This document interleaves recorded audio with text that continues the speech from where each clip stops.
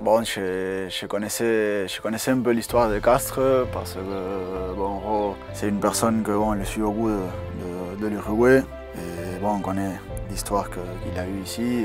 mais bon, une fois que, tu arrives et que, et que tu vives, tu, sens, euh, tu, crées ta, propre histoire au club, c'est énorme.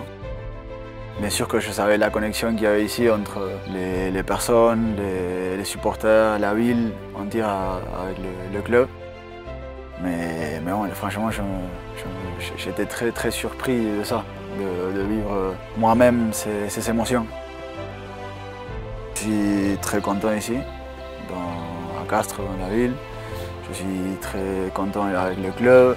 Je pense qu'on a quelque chose à, prouver. On a des qualités énormes avec le groupe, avec le staff et ça me donne envie de, me challenger à, à futur.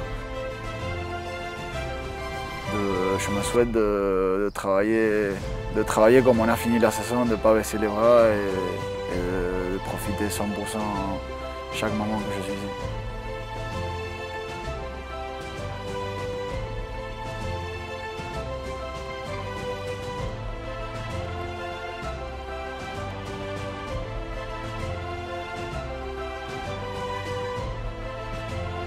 Je suis un Olympien jusqu'à 2024.